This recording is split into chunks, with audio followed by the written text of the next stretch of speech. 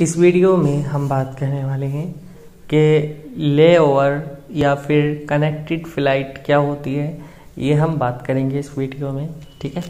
तो ये आपको हर एयरलाइंस पर ज़्यादातर मिल जाएगी, बट किसी किसी पर नहीं भी मिलती, बट यहाँ पर कनेक्टेड फ़्लाइट क्या होती है, ये भी आपको बताऊँगा। तो सबसे पहले हम किसी फ़्लाइट को यहाँ पर सिलेक्ट करते हैं, और डोमेस्टिक फ़्लाइट्स ही हैं सारी।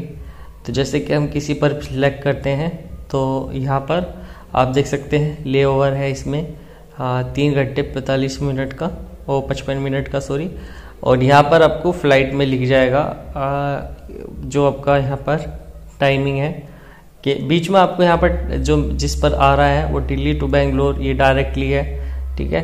और ये जो आप बीच में देख सकते हैं कहीं रुक कर जाएगी वो यहाँ पर आपको दिखा रखा है। ज़्यादातर नीचे की सब जो है वो डायरेक्ट है यहाँ से फिर दोबारा से ये ले ओवर हो गई हैं सारी की सारी। तो अब जैसे यहाँ पर हम बात कर लेते हैं कि ये होता क्या है। ये बेसिकली कनेक्टेड फ़्लाइट भी हम बोल सकते हैं। तो ये फ़्लाइट ऐसी होती है कि दिल्ली से ये उड़ेगी जो है नौ बज के बीस मिनट पर और ग्यारह बज के बीस मिनट पर ये जो है पुणे में लैंड करेगी। अब जो पुणे वाले लोग हैं, वो यहाँ से उतर जाएँगे। अब जो यहाँ पर बेंगलोर वाले लोग हैं, वो इसमें बैठे रहेंगे और बेंगलोर वाले लोग जो है तीन घंटे पैंतालीस मिनट बाद जो है अब इतना टाइम है तो आप एयरपोर्ट में जा सकते हैं, आप यहाँ पर पुणे के एयरपोर्ट में घूम सकते हैं, कोई दिक्कत वाली बात नहीं। लेकिन फिर उसके बाद आपको यहाँ पर दो बजकर शायद दो बज के पंद्रह मिनट पर आपकी यहाँ से फ़्लाइट उड़ेगी, या शायद ये शायद तीन बज के पंद्रह मिनट है। एंड वो आपकी लैंड होगी यहाँ पर चार बजकर पचास मिनट पर, ठीक है? चार बजकर पचास मिनट पर, यानी कि सोलह घंटे पचास मिनट यहाँ पर होते हैं। तो वो आपकी यहाँ पर फिर यहाँ पर लैंड करेगी बेंगलुरु में, ठीक है?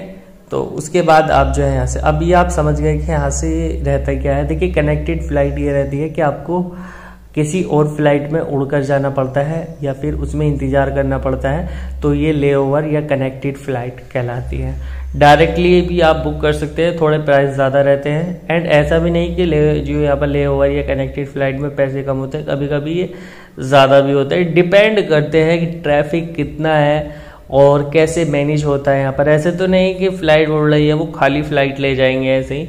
नहीं, वो कनेक्ट कर देते हैं। अगर ऐसा होता है कि इतना ट्रैफ़िक नहीं है तो कहीं कहीं से वो ट्रैफ़िक को जो है लाते हैं, जो पैसेंजर होते हैं, उनको लाते हैं एंड बिठाते हैं। और अब जैसे पुणे से कम लोग बैठ रहे हैं बेंगलोर के लिए तो ऑलरेडी उसके अंदर दिल्ली से मैनेज करके ले आएँगे और पुणे में भी उतारेंगे। यहाँ पर अलग अलग शहरों की अलग अलग है, जिससे कि यहाँ पर इनको ज़्यादा नुकसान नहीं होता है।